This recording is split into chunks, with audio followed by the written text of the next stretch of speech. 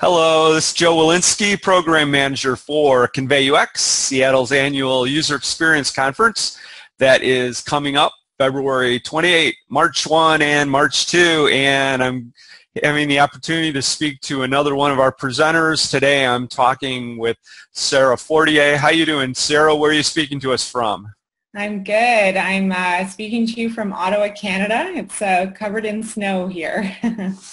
All right. Well, yeah, it's good to, to uh, have you with us today. Uh, and we just uh, finished up watching the uh, Seattle Sounders beat the uh, Toronto FC. Club in the in the football championship, so that was kind of fun to watch. But yeah. uh, today we want to talk a little bit about you, and uh, you'll be contributing to our event. So maybe we could start with uh, you talking a little bit about your background and the types of things that you're involved in for work. Yeah, so um, I um, actually have like my formal background is in industrial design, and uh, so like designing 3D products. And, you know, as many of us sort of meander in our careers, I moved over to UX after I did my, my master's in interdisciplinary design. And uh, I started working at a consulting firm doing uh, UX work, research, and design. And from there moved out to California. So I was working in the San Francisco Bay Area, Silicon Valley for, you know, almost four years, I guess.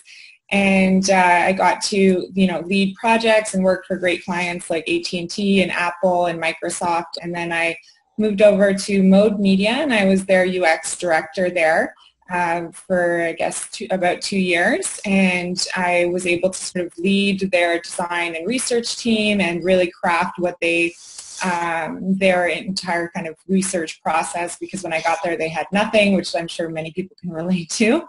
Um, and then I moved back to Canada, to my hometown, to start up my own company, Outwitly, which is a design think tank. And I work with clients to um, sort of transform their businesses using design and research methods that we have been using in the tech world for a while now. Uh, so I work with companies on, you know, transforming company culture and improving their um, processes and then also doing a lot of customer experience design and moving more into that systems perspective that many UXers I think are really inept or uh, um, good at doing anyway. so, so that's that's my background.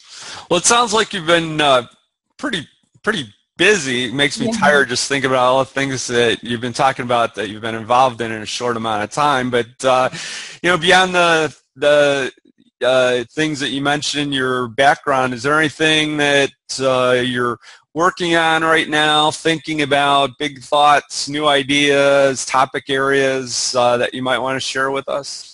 Yeah, well, I've always been really obsessed with systems thinking, as I was just sort of talking about, and I and I in my thesis work during my master's, I uh, did a lot of research on how to create really consistent experiences across touch points, and I, um, you know, was really lucky. I got to interview all these fantastic professionals. Uh, and you know the, the classic example is always apple about the different touch points that they offer and there's so many more companies doing amazing things now, like David's Tea, they're a Canadian brand. If you think of their uh, packaging and their website and just the in-store experience and even what they call and name their little teas. So, you know, looking at um, customer experiences across the entire system is really exciting for me. And then another component of that is just visualizing that information because I think so many times we hand off these PDF reports that we found out you know great insights on from our research and then no one reads them and that information becomes lost like three months later. And so i'm really passionate about learning the best ways to visualize information so that people get really excited they want to share it and send it to their coworkers and then it's not forgotten down the line. So that's been my latest um, obsession well, uh, why don't we talk a little bit about uh, the work that you're going to do at the conference? So you're going to be uh, uh um, presenting one of our half-day workshops, which takes place on the first day of the conference, and uh, those are three and a half hour long activities that are included with the uh, full conference pass. And the title of your workshop is North Star Principles creating a vision for UX and product development. So uh, maybe talk a little bit about uh, you know where the idea for that this workshop came from and what people could expect to learn from it. Yeah.